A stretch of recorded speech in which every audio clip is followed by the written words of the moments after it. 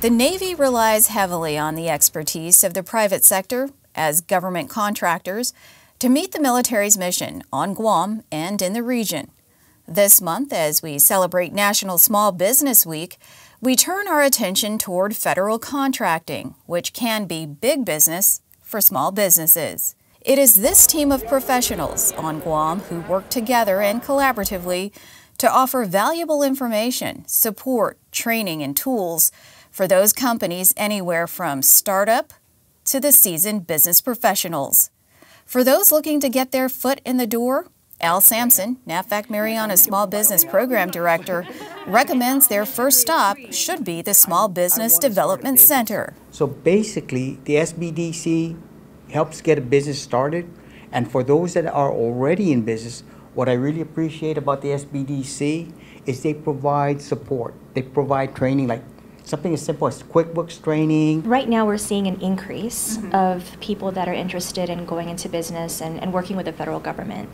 And um, part of our training, we always talk about diversifying their customer base and to be able to have additional revenue streams. So the federal government is always part of the plan um, here on island. Meanwhile, the Procurement Technical Assistance Center, PTAC, offers counseling and workshops from start to finish. We do assist everywhere from the beginning, from getting a DUNS number, registering in SAM.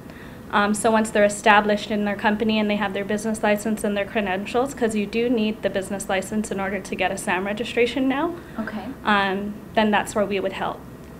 Uh, we also assist with finding solicitations, opportunities that are available for them through uh, federal websites such as Fed, FedBizOpps and NECO um, going through the requirements, the scope of work, and making sure that they are fit to actually complete the contract before they submit their bid.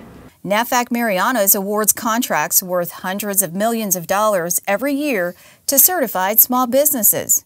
Most recently, $215 million in fiscal year 2017 and 228 million in fiscal year 2018.